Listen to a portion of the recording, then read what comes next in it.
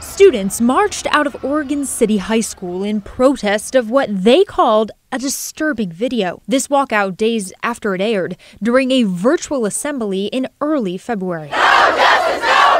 Parents, equally distressed by the clip, took complaints to the school board. The video shows a blurred out student confessing his assaults on his girlfriend, his ex girlfriend. That ex girlfriend, referred to as 18 year old Jane Doe in these court documents, is now suing the school district. The senior demanding more than $832,000 for intentional infliction of emotional distress and invasion of privacy.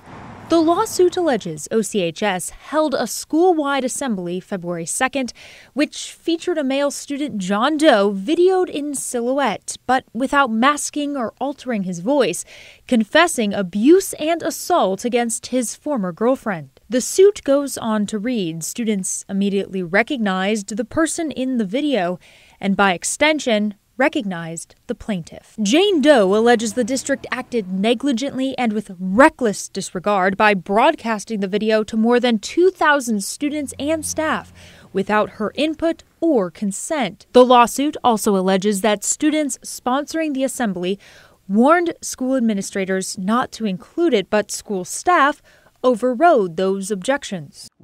the lawsuit comes after the district already received a formal complaint. Last month, the interim superintendent confirmed an investigation into the assembly and video was underway. They failed our kids. Backlash against the district continues as several parents last week voiced demands at the latest school board meeting for more action and accountability. The lack of transparency has made it seem that nothing is being done and no one is being held accountable for their lack of judgment.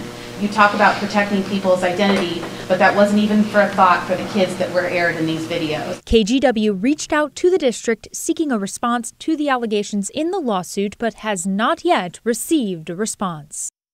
Worth noting, the principal of Oregon City High School resigned earlier this month. Carrie Wilhelm will leave OHCS at the end of the year, calling the past three years some of the most challenging and rewarding of her career in a note to parents. No word on whether her resignation is connected to the assembly or the lawsuit, but we'll keep you updated as we learn more.